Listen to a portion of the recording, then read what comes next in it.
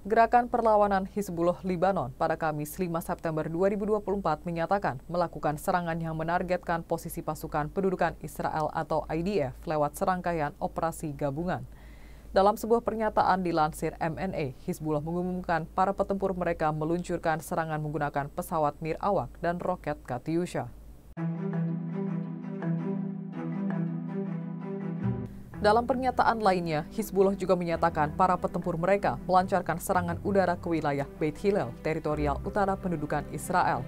Hizbullah menyerang dengan segerombolan pesawat tanpa awak terhadap pangkalan komando Batalion Al-Sal di Barak Beit Hillel dan berhasil mengenai sasaran dengan akurat.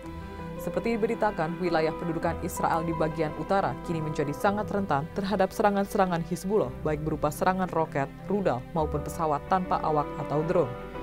Iran mengatakan serangan Hizbullah menunjukkan Israel kehilangan daya tangkalnya. Israel telah kehilangan kekuatannya untuk mencegah serangan dan keseimbangan strategis di kawasan telah bergeser merugikannya, kata Iran setelah serangan oleh Hizbullah Libanon. Hizbullah meluncurkan ratusan roket dan pesawat tak berawak ke Israel.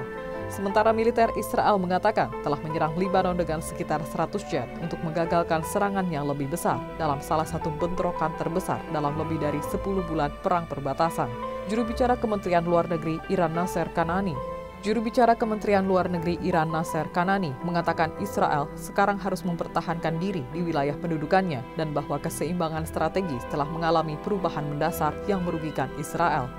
Menurutnya, meskipun mendapat dukungan menyeluruh dari negara-negara seperti Amerika Serikat, Israel tidak dapat memperkirakan waktu dan tempat respons terbatas serta terkendali oleh perlawanan.